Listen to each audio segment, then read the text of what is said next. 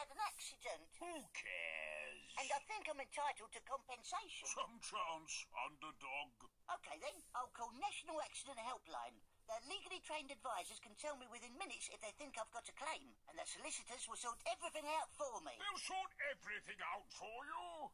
Not so big now, are you? However big they are, call National Accident Helpline on 0800 556 557. Or go to underdog.co.uk.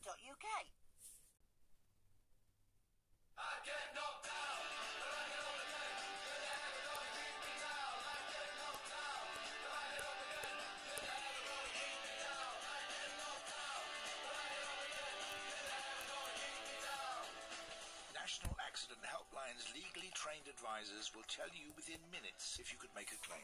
So don't get treated like an underdog. Call National Accident Helpline on 0800 917 1174 or go to underdog.co.uk.